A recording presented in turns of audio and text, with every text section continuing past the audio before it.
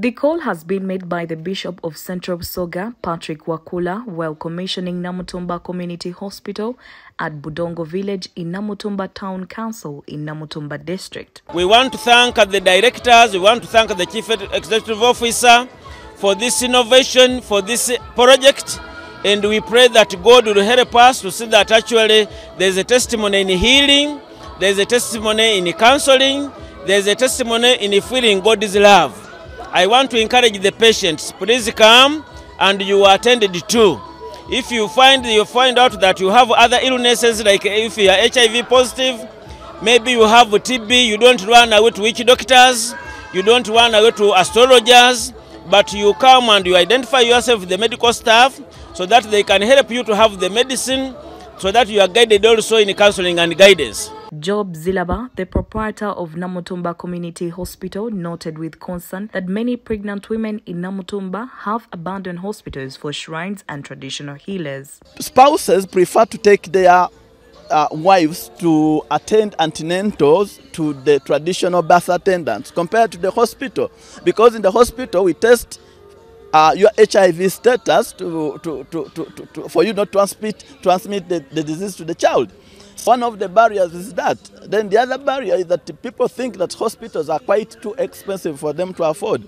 And so they go into the traditional uh, medicines that they think to get a solution. By the time they turn back to the hospital, they are out of control. And what is left? Pulse is down, heart pressure, uh, blood pressure is off, and suddenly it is death. Uh, we have witnessed uh, uh, perhaps something like 10, 10 deaths, 10 deaths, and all this are just of carelessness. People go, prefer to go to traditional healers compared to running the hospital. And that's a very big challenge. He has asked the government to double efforts in sensitizing the locals on embracing hospitals rather than going to shrines. Death that we always experience in the district because uh, once a mother wanted a C-section in this district, it meant that you have to travel to Iganga or you have to go travel to, to Mbale where you can access a C-section. These are past partly the reasons as to why we came up with this facility. Bishop Wakula asked the pregnant mothers to always seek for the right treatment. He asked medics to also be compassionate to their patients. I want to pray for the officers here, the nurses and the midwives. Our motto says, called by God to love and to serve the sick. Those that are in a casualty case, those that are casualty cases, those that are so sick, those that are in a labor pains, we are supposed to show them the first medicine is the love that we show these people. So I want to thank God for this facility. We pray that God commissions it, that actually those that come are healed, those that come go back with the testimony because we worship a God that answers.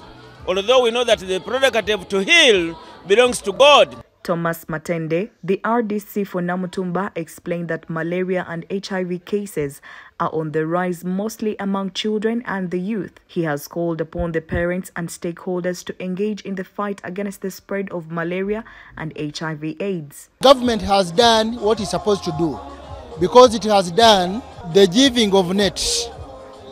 It has also done the spraying of houses, that is indoor spraying. At the same time, it has tried very much to see that there are tabs in the health centers, but malaria has continuously increased. Now, of the people who visit the health centers, we find that every out of 10, 7 out of 7, 7 out of 10, they turn to be positive. That means that malaria, it is at a rate of 60 to 70 percent uh, the way it spreads. Story compiled by Emmanuel Balukusa for the news.